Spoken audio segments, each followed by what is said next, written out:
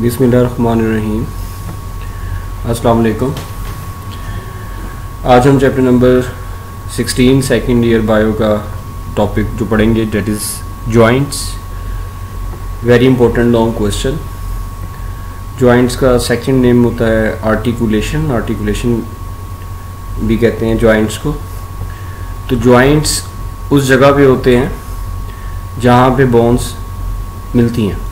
जैसे कि यहाँ पे आप डायग्राम में देख सकते हो देयर आर टू बोन्स और ये इस जगह पे जहाँ पे ये आपस में मिल रही हैं this point is this place is known as joint तो ज्वाइंट का रोल ये होता है कि एक तो वो स्केलेटन को इकट्ठा रखता है होल्ड द स्केलेटन टुगेदर और दूसरा वो मोबिलिटी देता है. यानी कि मूवमेंट में ज्वाइंट जो है ना वो इन्वॉल्व होता है.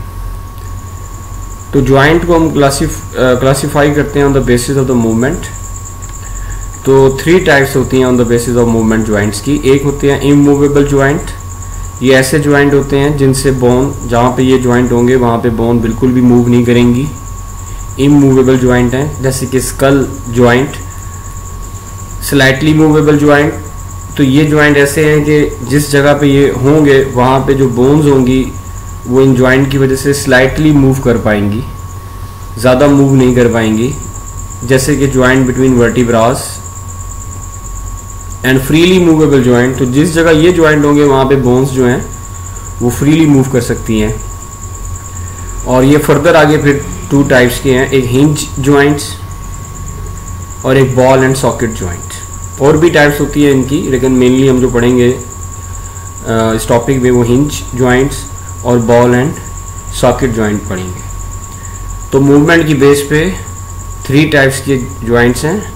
एक इमूवेबल ज्वाइंट जो कि स्कल में मौजूद होते हैं स्लाइटली मूवेबल ज्वाइंट जो कि वर्टी ब्रास के दरमियान में है, और फ्रीली मूवेबल ज्वाइंट जो कि फर्दर फिर हिंज ज्वाइंट होते हैं और बॉल एंड सॉकेट ज्वाइंट होते हैं। Classification on the basis of structure तो स्ट्रक्चर की बेस पे भी ज्वाइंट्स थ्री टाइप्स के हैं। एक फाइब्रस ज्वाइंट है कार्टिलिजिनस ज्वाइंट है और साइनोवियल ज्वाइंट तो बारी बारी हम इन तीनों ज्वाइंट्स को देखेंगे कि ये कैसे होते हैं। तो एक साथ हम इनको देख रहे हैं। सबसे पहले हम देखेंगे फाइब्रस ज्वाइंट तो इसका स्ट्रक्चर कैसा होता है? ये कैसा ज्वाइंट होता है? जिसमें जो बोन्स होती हैं वो कैसे हेल्ड होती हैं, कैसे मौजूद, कैसे एक जगह पे रहती हैं बाय शॉर्ट फाइबर्स और वो जो शॉर्ट फाइबर है प्रोटीन के बने हुए हैं, ये किसके साथ अटैच होते हैं या एम्बेडेड होते हैं कनेक्टिव टिश्यू में? कनेक्टिव टिश्यू यहाँ पे बोन्स को कहा जा रहा है। तो इस, ये ऐसा ज्वाइंट है जिसमें जो बोन्स होती हैं, उनको एक साथ कौन रखते हैं? हेल्ड टुगेदर कौन करते हैं? शॉर्ट फाइबर्स ये जो फाइब्रस ज्वाइंट है इनकी वजह से कोई मूवमेंट नहीं होती, ये फिक्स कर देते हैं बोन्स को। तो मूवमेंट क्या है? फिक्स्ड एंड नो मूवमेंट और ये ज्वाइंट्स कहाँ होते हैं? ये स्कल में होते हैं। स्कल ज्वाइंट जो है, वो फाइब्रस ज्वाइंट हैं। उसके अलावा इन्हीं ज्वाइंट के ज़रिए, और ये ज्वाइंट कहाँ मौजूद हैं? टीथ और जॉस के दरमियान। और इन्हीं ज्वाइंट्स के ज़रिए टीथ फिक्स होते हैं इन टू जॉस तो ये फाइब्रस ज्वाइंट है। एक स्कल में मौजूद है। तो ये देखें, ये हमारी स्कल है, इसकी ये बोन्स हैं, ये ऑसिपिटल बोन है ओ फॉर ऑसिपिटल ये साइड वाली बोन है प्राइटल बोन्स और ये सामने वाली बोन है फ्रंटल बोन और आप देख सकते हो कि इनके दरमियान में इन बोन्स ये बोन्स एक दूसरे के साथ कैसे कनेक्टेड हैं या कैसे एक जगह पे ये मौजूद हैं by mean of these short fibres और ये शॉर्ट फाइबर्स इन बोन में एम्बेडेड हैं। इधर एक, इधर और एक इधर बोन में। तो ये बीच में इन बोन्स के दरमियान में ये शॉर्ट फाइबर्स हैं जो इन बोन्स को जिन्होंने हेल्ड टुगेदर किया हुआ है, एक ही जगह पे रखा हुआ है। अगर हम थोड़ा और इसको देखें इस डायग्राम में तो ये इसी, इस पार्ट को अगर हम इसको थोड़ा और इलाज करके देखें तो ये स्कल की बोन्स हैं और ये इनके दरमियान में ये ज्वाइंट बने हुए हैं। सुचर कहते हैं। स्कल के जो ज्वाइंट होते हैं सुचर उनको कहा जाता है। और इन, ये बोन्स जो हैं, वो एक जगह पे कैसे मौजूद हैं? ये बीच में आपको शॉर्ट फाइबर्स नज़र आ रहे हैं। तो इस तरह के जो ज्वाइंट होते हैं, वो फाइबरस ज्वाइंट जो है ना, वो कहलाते हैं। ये देखें, ये टीथ है।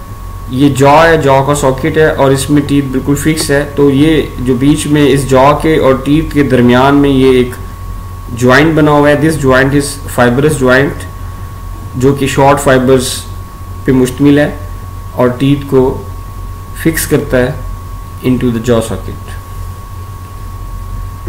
तो ये पहले, पहला ज्वाइंट है फाइबरस ज्वाइंट जिसमें इस ज्वाइंट में बोन्स जो हैं, वो एक साथ कैसे रहती हैं या कैसे होती हैं एक साथ?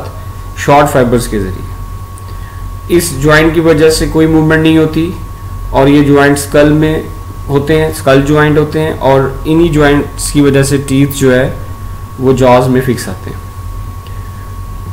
दूसरी जो टाइप है, वो कार्टिलिजिनस ज्वाइंट है।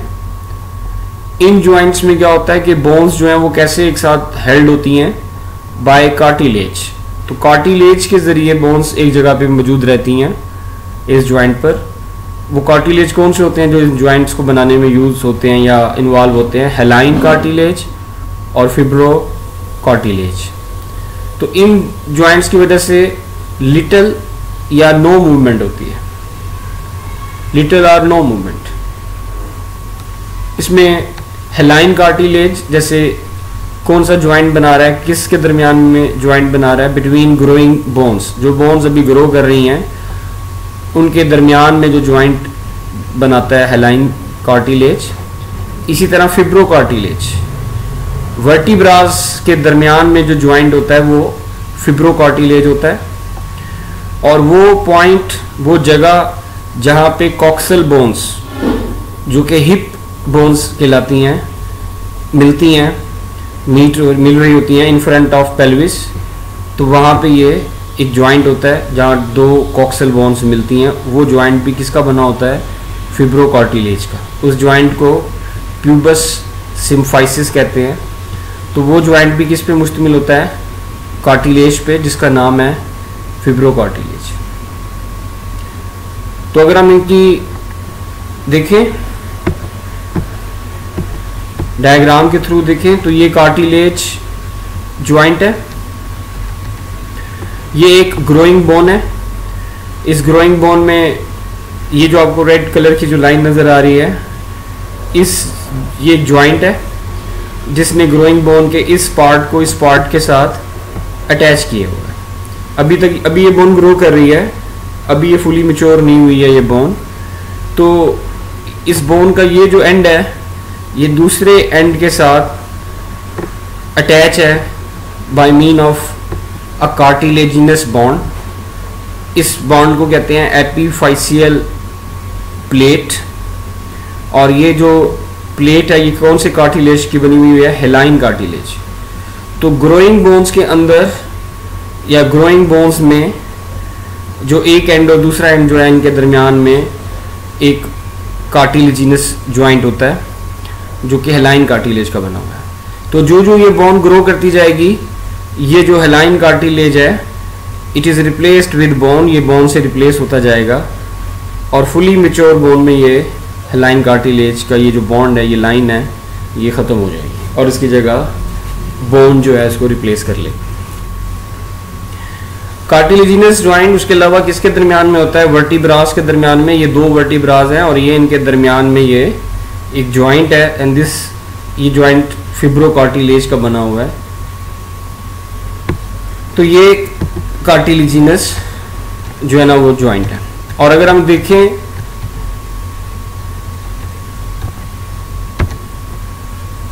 कार्टिलिजिनस ज्वाइंट इन ज्वाइंट में जो बोन है, वो एक साथ कैसे रहती हैं? कार्टिलेज के ज़रिए। कौन से कार्टिलेज हैं जो कार्टिलिजिनस ज्वाइंट को बनाने में इन्वॉल्व हैं? एक हेलाइन कार्टिलेज है और दूसरा फिब्रो कार्टिलेज है। इस ज्वाइंट के ज़रिए मूवमेंट जो हो रही होती है, वो लिटल या नो मूवमेंट है। हेलाइन कार्टिलेज कहाँ ज्वाइंट बना रहा है बिटवीन ग्रोइंग बोन्स जो बोन ग्रो कर रही है, उनके दरमियान में हेलाइन कार्टिलेज ज्वाइंट बनाता है और फिब्रो कार्टिलेज का ज्वाइंट कहाँ बना रहा है? वर्टिब्रास के दरमियान में और वो जगह जहाँ कॉक्सल बोन्स मिलती हैं इन फ्रंट ऑफ़ पेल्विस जिसको हम प्यूबस सिम्फाइसिस कहते हैं, वहाँ पे जो है ना वो, ये कार्टिलेज जो है, का ज्वाइंट होता है। उसके बाद थर्ड इसकी टाइप है साइनोवियल ज्वाइंट ये जो ज्वाइंट होता है, इसमें कैविटी होती है. यानी जो बोन्स हैं, दोनों बोन्स के दरमियान में कैविटी होगी स्पेस होगी.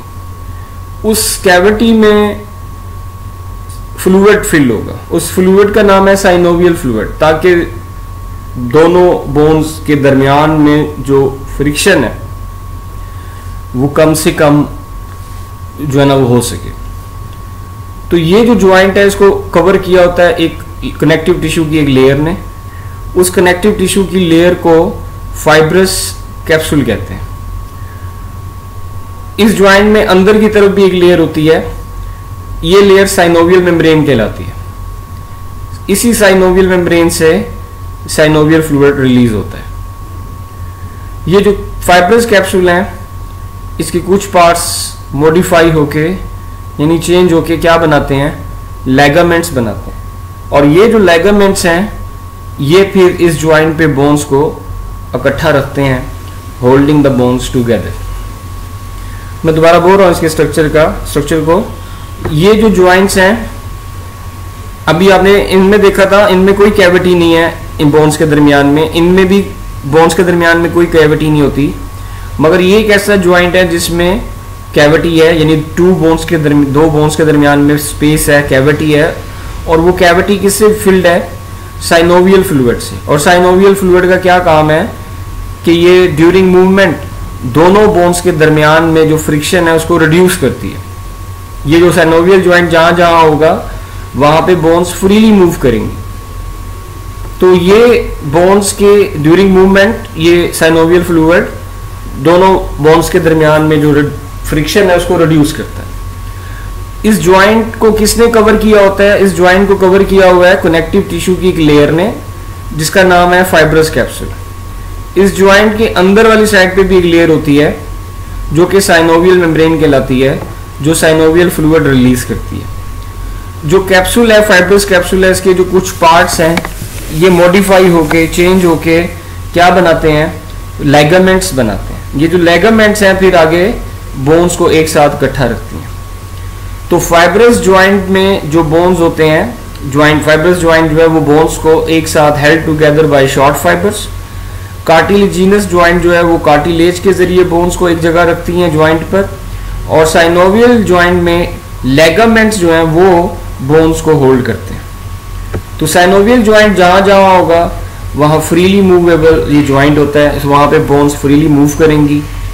इसमें शोल्डर ज्वाइंट आ जाता है नी ज्वाइंट है एल्बो ज्वाइंट है हिप ज्वाइंट है तो we can move over shoulder we can over we can move over knee we can move over elbow as well as hip तो ये इन जगहों इन जगहों को जो हम मूव कर सकते हैं, वो साइनोवियल ज्वाइंट की वजह से ये मूव होते हैं। तो ये स्ट्रक्चर की बेस पे ये तीन ज्वाइंट्स की जो है ना वो टाइप्स हैं। इनमें अगर कोई भी डिफरेंस आता है तो आप ये लिख सकते हो शॉर्ट क्वेश्चन में। ये साइनोवियल ज्वाइंट की डायग्राम है। जैसे कि मैंने आपको पहले बताया कि इस जॉइंट के में जो दो बोन्स होंगी, उनके दरमियान में स्पेस होगी। आप देख सकते हो कि दोनों बोन्स के दरमियान में ये कैविटी है। And this cavity is filled with synovial fluid अगर अगर हम इसको थोड़ा और क्लोज करें तो हमें इसमें जो है ना वो नज़र आ रहा होगा। कि ये जो ज्वाइंट है, इसको बाहर किसने कवर किया हुआ है? एक लेयर ने कनेक्टिव टिश्यू की लेयर ने जिसको फाइब्रस कैप्सूल कहते हैं दिस ग्रीन लेयर और इसके अंदर एक और लेयर होती है, ये आपको एक और लेयर नज़र आ रही होगी ब्लू कलर में, इधर भी और इस साइड पे भी. This layer is known as synovial membrane और यही साइनोवियल मेम्ब्रेन है, जो किसको रिलीज़ कर रही है? जो कि साइनोवियल फ्लूड को रिलीज़ करती है. उसके अलावा आप देख सकते हो यहाँ पे कि फाइब्रस कैप्सूल के जो कुछ पार्ट्स हैं, वो मॉडिफाई होके उन्होंने क्या बनाया है? वो यहाँ पे लेगामेंट बना रहा है। और लेगामेंट वो कनेक्टिव टिश्यू है, जो कि बोन्स को साइनोवियल जॉइंट पर जो बोन्स हैं, उनको एक साथ रखता है। ये कार्टिलेज है आर्टिकुलर कार्टिलेज ये बोन्स के एंड को इसने कवर किया हुआ है आर्टिकुलर कार्टिलेज और आर्टिकुलर कार्टिलेज हम पहले भी पढ़ चुके हैं कि ये कौन से कार्टिलेज हैं? Hyaline cartilage I repeat synovial joint में जो बोन्स हैं, उनके दरमियान में ये कैविटी है this cavity is filled with synovial fluid this joint is surrounded by a layer of connective tissue known as fibrous capsule और एक अन इनर लेयर है, एक आउटर लेयर ने कवर किया हुआ है इस ज्वाइंट को और एक इनर लेयर ने कवर किया हुआ है। तो आउटर लेयर जो है इसकी वो फाइब्रस कैप्सूल है और इनर लेयर जो है वो इसकी साइनोवियल मेम्ब्रेन है जो कि साइनोवियल फ्लूड रिलीज़ करती है। उसके अलावा फाइब्रस कैप्सूल के कुछ पार्ट्स मॉडिफाई होके चेंज होके वो क्या बना रहे हैं लेगामेंट्स बना रहे हैं जो इन बोन्स को एक साथ इकट्ठा जो है ना वो रखते हैं इस ज्वाइंट पे। आगे फिर साइनोवियल ज्वाइंट की बहुत सारी टाइप हैं, लेकिन हम मेन इस, इसके जो मेन दो टाइप्स हैं, उसको हम यहाँ पे देखेंगे। एक हिंज ज्वाइंट है और एक बॉल एंड सॉकेट ज्वाइंट है। तो इन दोनों के दरमियान में डिफरेंस जो है ना, वो हम देखेंगे। मूवमेंट हिंज ज्वाइंट जो है, ये जहाँ पे भी होगा ज्वाइंट ये अलाउ करता है movement in two directions up and down up and down movement allow करेगा। तो दो movement only only two direction में ये मूवमेंट अलाउ करते हैं। लेकिन जो बॉल एंड सॉकेट ज्वाइंट जहाँ हो, जहाँ होगा, वहाँ पे जो मूवमेंट्स होंगी, वो सेवरल डायरेक्शन में होंगी। राइट भी लेफ़्ट भी अप अप भी डाउन भी। तो ये ज्वाइंट अलाउ करता है मूवमेंट इन टू डायरेक्शन और ये जो ज्वाइंट है, ये अलाउ करता है movement in several direction muscle arrangement तो हिंज ज्वाइंट पे पेयर ऑफ़ मसल होते हैं। यानी टू मसल्स होते हैं। और वो वैसे ही एक ही प्लेन पे, उसी प्लेन पे अरेंज होते हैं जिस प्लेन पर ज्वाइंट होता है। यानी उसी लाइन पे प्लेन मतलब एक इमेजिनरी लाइन तो उसी लाइन पे ये अरेंज होते हैं जिस लाइन पे, जिस प्लेन पे ज्वाइंट मौजूद है। जैसे ये आप देख सकते हो कि ये एक मसल ये है, एक मसल नीचे है, ये पेयर ऑफ़ मसल है, और ये बोन्स हैं, ये ज्वाइंट कौन सा है, ये हिंग ज्वाइंट और हिंग ज्वाइंट पे टू मसल्स होते हैं, यानी पेयर ऑफ़ मसल्स होते हैं। और जिस लाइन पे, जिस प्लेन पे, जैसे ये एरो शो कर रहा है कि इस प्लेन पे स्ट्रेट लाइन पे ज्वाइंट मौजूद है, इसी स्ट्रेट लाइन पे कौन अरेंज होते हैं मसल भी अरेंज होते हैं। अब मसल जो है ना, उसके दो एंड्स होते हैं। एक ये एंड है और टू एंड्स हैं मसल के। थोड़ा हम क्लोजली देखते हैं। तो this this is two end एक ये एंड है और एक ये एंड है। This end is known as origin तो मसल का ये जो एंड है, जिसको हम ओरिजन कहते हैं, ये किसके साथ अटैच होता है? इमूवेबल जो बोन के साथ। जो जहाँ पे हिंज ज्वाइंट होगा, वहाँ एक बोन जो होगी, वो इमूवेबल होगी और दूसरी जो बोन होगी, वो मूवेबल होगी। तो मसल का वो एंड जो कि ओरिजिन कहलाता है, वो इमूवेबल बोन के साथ अटैच होगा और मसल का वो एंड जो इंसर्शन कहलाता है, वो मूवेबल बोन के साथ। अटैच होगा। जैसे इस केस में देखें तो ये इमूवेबल इमूवेबल बोन है। यानी मूवमेंट के दौरान ये बिल्कुल भी मूव नहीं करेगी। और मसल का ये जो एंड जो इसके साथ अटैच है, ये एंड क्या कहलाएगा? ऊपर वाला भी और ये नीचे वाला भी ओरिजिन कहलाएगा। और ये इस बोन ने मूव करना है। इस बोन के साथ जो मसल का एंड अटैच है, वो इंसर्शन कहलाता है। तो हर मसल का एक एंड ओरिजिन होता है, वो फिक्स होता है, वो इमूवेबल बोन के साथ फिक्स होता है ज्वाइंट की एक साइड पे, जैसे ये ज्वाइंट की एक साइड है, यहाँ पे ये ओरिजिन है, ये इमूवेबल बोन है और ये मसल का एंड ओरिजिन है। और जो दूसरा एंड है मसल का, वो इंसर्शन कहलाता है और वो ज्वाइंट की दूसरी साइड पे अटैच होगा, यानी इस साइड पे अटैच होगा और इस साइड पे जो बोन होगी, ये मूवेबल बोन है।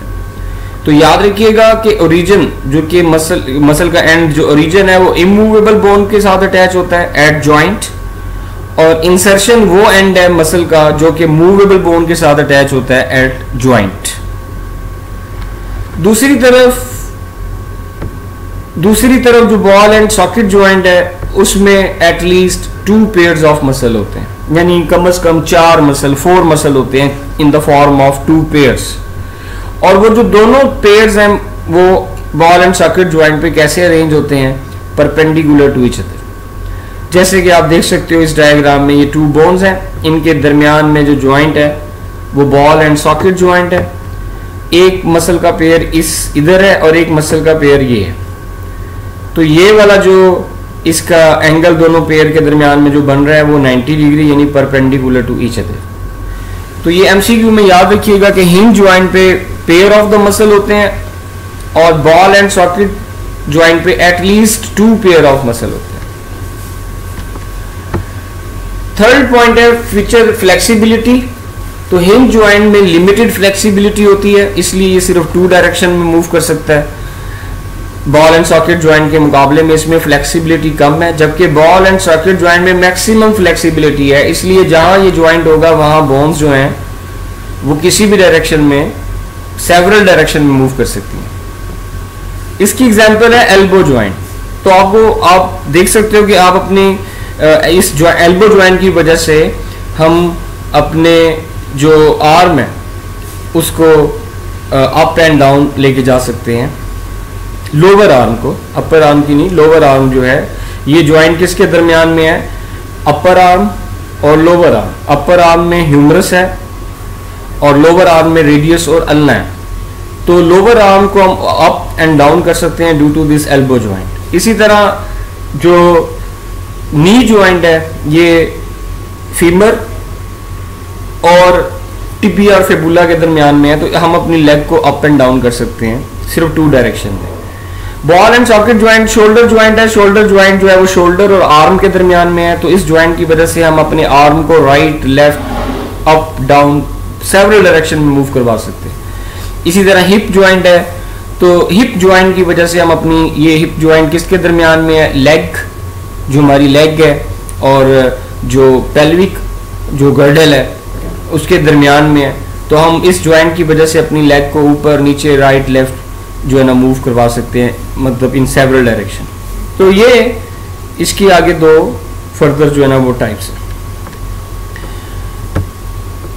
ये डायग्राम के थ्रू जो है ना वो हम देखते हैं इसमें। सबसे पहले बॉल एंड सॉकेट ज्वाइंट है,